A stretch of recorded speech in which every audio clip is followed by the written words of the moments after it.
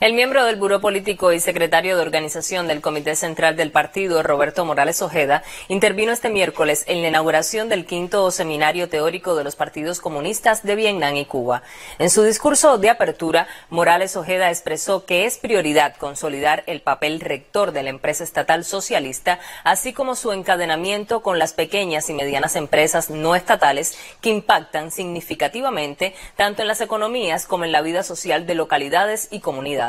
El representante partidista cubano también habló sobre el impacto del cerco económico del gobierno de los Estados Unidos contra la mayor de las Antillas. En este sentido, consideró un imperativo para Cuba imponerse a la dura realidad que significa el bloqueo, desarrollar en ese contexto la economía del país, diversificarla, conectarla con la internacional. Asimismo, resaltó en este quinto seminario teórico desarrollado en la ciudad de Hanoi la trascendencia de la cita devenida un mecanismo para debatir con sinceridad y apego sobre nuestros modelos de desarrollo. De acuerdo con información publicada en su cuenta oficial en Twitter, Morales Ojeda calificó el encuentro como fructífero, con aportes importantes para el arduo camino de la construcción de un socialismo próspero y sostenible.